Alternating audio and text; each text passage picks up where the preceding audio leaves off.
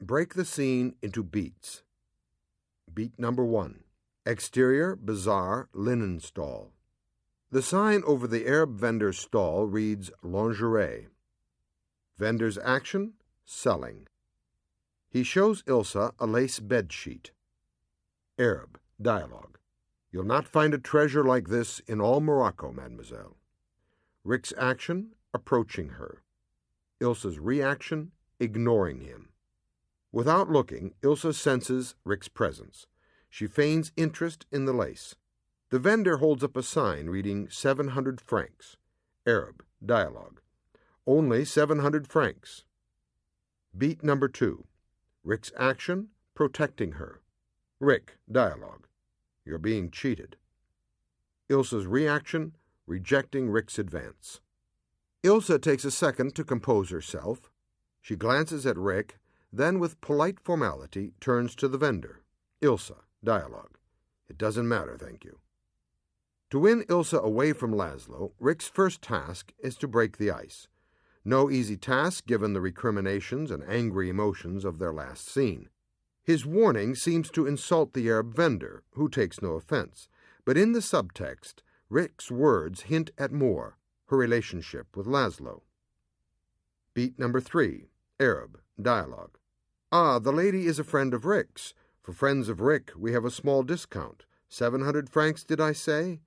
The vendor holds up a new sign. Arab, dialogue. You can have it for two hundred. Rick's action, apologizing. Rick, dialogue. I'm sorry I was in no condition to receive visitors when you called on me last night. Ilsa's reaction, rejecting him again. Ilsa, dialogue. It doesn't matter. Arab, dialogue. Ah, for special friends of Rick's, we have a special discount. He replaces the second sign with a third, reading 100 francs. Rick's protective action of the first beat comes naturally. The apology in the second beat is more difficult and rare. He masks his embarrassment by using excessive formality to make light of it. Ilsa is unmoved. Beat number four Rick's action, excuse making. Rick, dialogue. Your story left me a little confused, or maybe it was the bourbon. Arab, dialogue. I have some tablecloths, some napkins. Ilsa's reaction, rejecting Rick for the third time. Ilsa, dialogue. Thank you, I'm really not interested. The vendor quickly leaves. Arab, dialogue. Only a moment, please. The Arab vendor enriches the scene in a number of ways. He opens it in a comic tone to counterpoint a dark ending. He sells lace, which adds connotations of weddings and the sexuality of lingerie. Most importantly, however, he tries to sell Rick to Ilsa. The vendor's first line declares Rick a treasure. To demonstrate the power of Rick, the vendor drops his price for friends of Rick's. Then, hearing something about last night, the vendor cuts it even more for special friends of Rick's. This is followed by Rick's second reference to his drinking, as he tries to make this take the blame for his insulting behavior. Ilsa will hear none of it, and yet she stands and waits, and it's safe to assume she's not waiting to buy lace. Beat number five. A small silence as she pretends to examine the lace goods. Rick's action? Getting his foot in the door. Rick, dialogue. Why'd you come back? To tell me why you ran out on me at the railway station? Ilsa's reaction, opening the door a crack. Ilsa, dialogue. Yes. After hearing no four times in a row, Rick wants her to say yes to anything, so he asks a question that supplies its own answer. Her quiet yes opens the door, keeping the chain on perhaps, but indicating she's willing to talk. Beat number six. Rick's action, getting down on his knees. Rick, dialogue. Well, you can tell me now I'm reasonably sober. Ilsa's reaction, asking for more. Ilsa, dialogue. I don't think I will, Rick. The taciturn Rick insults himself over his drinking for the third time. In his tough guy manner, this is begging, and it works. Ilsa demurs, opposing him in a mild, polite way, yet continuing her lace buying guise. To paraphrase her subtext, that begging was nice for a change. Could I hear a little more, please? Beat number seven. Rick's action, guilt tripping her. Rick, dialogue. Why not? After all, I was stuck with the railway ticket. I think I'm entitled to know. Ilsa's reaction, guilt tripping him right back. Ilsa, dialogue. Last night I saw what happened to you. The Rick I knew in Paris, I could tell him. He'd understand. But the Rick who looked at me with such hatred. These two people have a relationship. Each feels that they're the injured party, and each knows the sensitivity of the other so well that they hurt each other with ease. Beat number eight. Ilsa's action, saying goodbye. She turns and looks at Rick. Ilsa, dialogue. I'll be leaving Casablanca soon. We'll never see each other again. We knew very little about each other when we were in love in Paris. If we leave it that way, maybe we'll remember those days, not Casablanca, not last night. Rick's reaction? Refusing to react. In the subtext, Ilsa's kind, forgiving prose is a clear goodbye. No matter how well mannered, no matter how much her language implies her love for Rick, this is the kiss off. Let's be friends. Let's remember the good times and forget the bad. Rick will have none of this. He reacts by refusing to react, for ignoring someone's action is, of course, a reaction. Instead, he starts the next beat.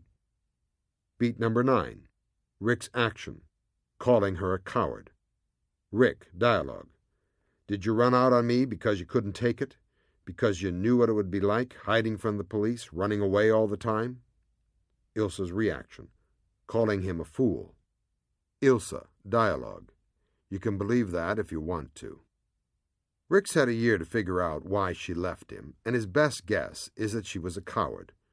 She, however, dares death or worse with Laszlo every day, and so she insults him in return with a cool sarcasm that implies, I don't care what you think, fools believe such nonsense, if you want to join them, believe it too. Beat number 10. Rick's action, sexually propositioning her. Rick, dialogue. Well, I'm not running away any more. I'm settled now. Above a saloon, it's true, but walk up a flight.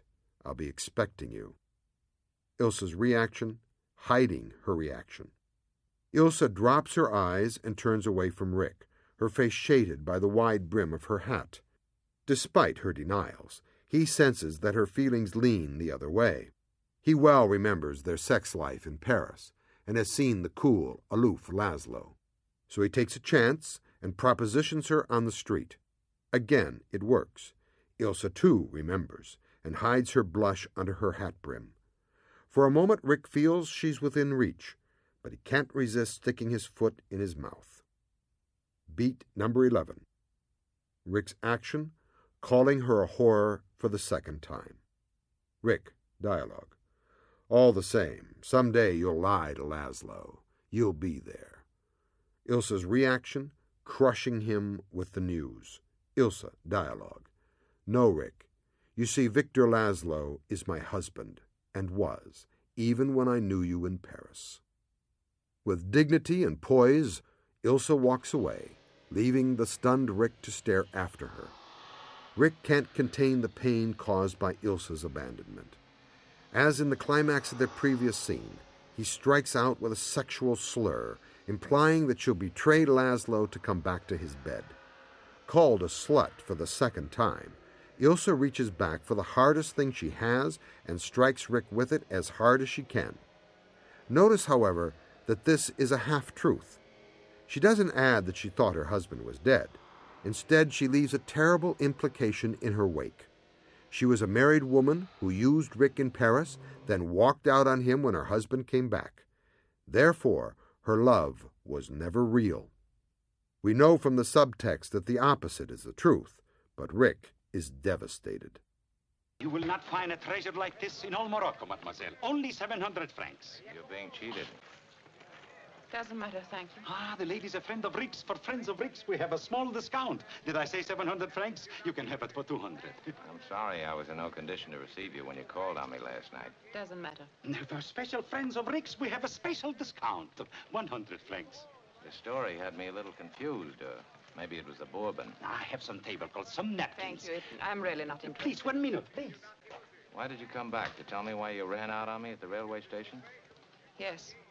Well, you can tell me now. I'm reasonably sober. I don't think I will, Rick. Why not? After all, I got stuck with a railway ticket. I think I'm entitled to know. Last night I saw what has happened to you. The Rick I knew in Paris, I could tell him he'd understand. But the one who looked at me with such hatred. I'll be leaving Casablanca soon and we'll never see each other again. We knew very little about each other when we were in love in Paris. If we leave it that way, maybe we'll remember those days, not Casablanca. Not last night. Did you run out on me because you couldn't take it, because you knew what it would be like? Hiding from the police, running away all the time? You can believe that if you want to. Well, I'm not running away anymore. I'm settled now. Above a saloon, it's true, but to walk up a flight, I'll be expecting you. Uh, all the same, someday you'll lie to Laszlo. You'll be there. No, Rick. No, you see, Victor Laszlo is my husband. And was, even when I knew you in Paris.